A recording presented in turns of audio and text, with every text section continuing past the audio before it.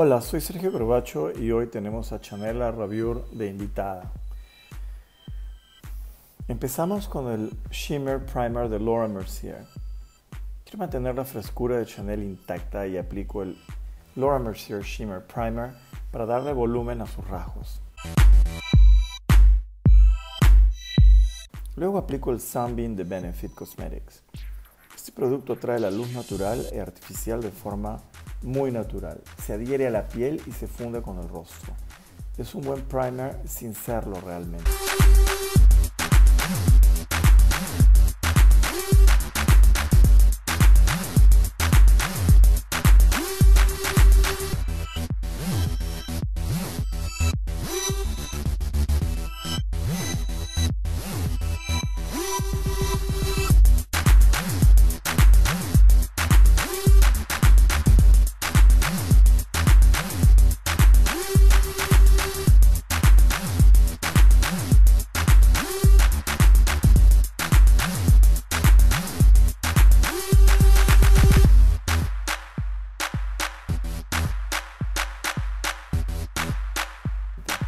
En las mejillas aplico el Pink Liquid Blush la firma Boots London de Chanel logrando el efecto flushed, que quiere decir sonrosado.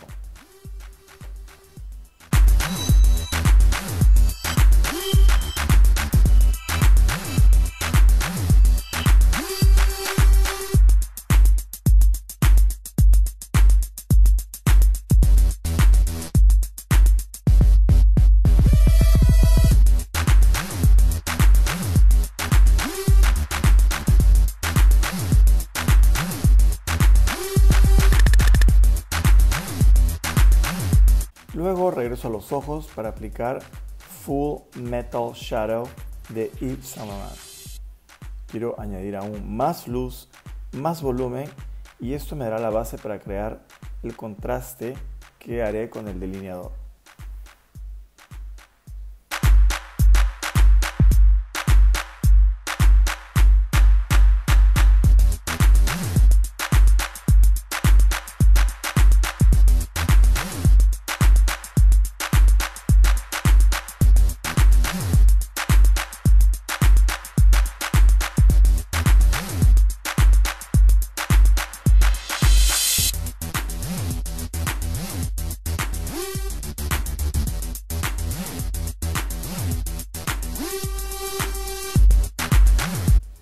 En las pestañas me concentro con el rímel False Eyelash Effect de Max Factor. Esta máscara de pestañas exagerará el efecto y yo lo exageraré aún más añadiendo pestañas individuales en las esquinas de los ojos. Estas pestañas son de la firma Ardell.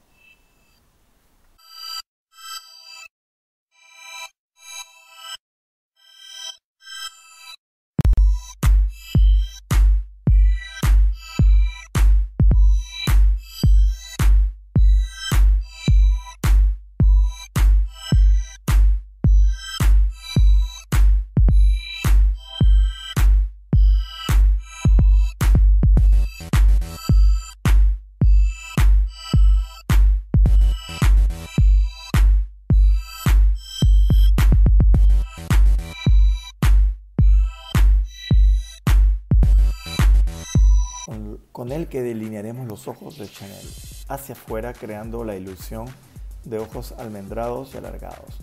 Escogí el tono marrón porque es menos predecible que el negro y además es más suave el efecto.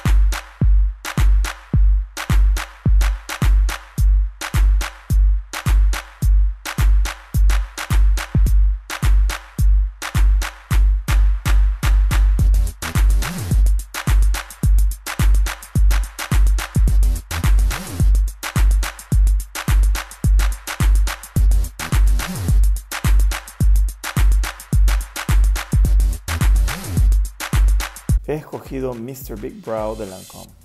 Con este producto peinaré y dibujaré un poco la ceja alargándola hacia afuera. Las cejas de Chanel son preciosas y perfectas, solo necesitan una buena peinada.